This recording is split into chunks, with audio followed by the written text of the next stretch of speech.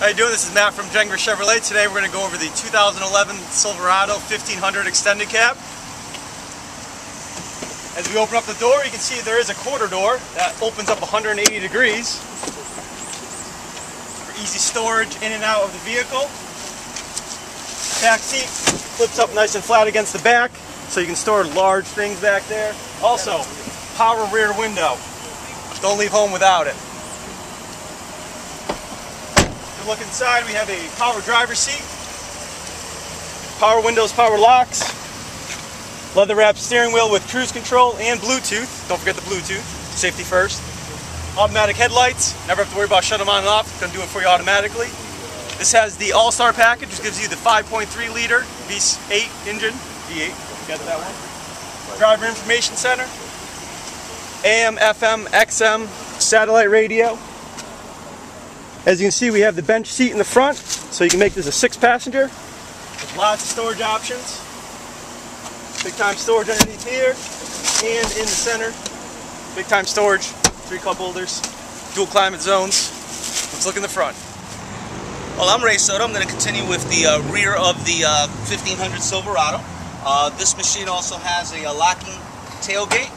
Comes with a uh, bed liner with a uh, five and a half foot bed. The uh, vehicle also has a, a, uh, factory tow built into it, which has a uh, towing capability of 7,200 pounds. It will also have back here the uh, easy release spare tire and your connections for uh, tow. That wraps up the bed. Good morning, my name is Jerry, Gengras Chevrolet. I want to show you the side of the Silverado uh, with the 18-inch Goodyear Wrangler tires. Come standard with the uh, aluminum uh, rims. You notice over here on the uh, mileage capability of this vehicle, it gets 21 highway, one of the best in its class for the vehicle. They get OnStar and XM radio uh, free for uh, six months.